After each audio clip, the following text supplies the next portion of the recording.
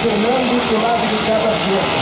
E hoje, ele fez o primeiro ponto dele aqui na cidade de origem, que é Cadelão. Na verdade ele é de Colômbia, mas participaram dos professores apenas por aqui. Hoje vai estar quase formado para representar os de todos os professores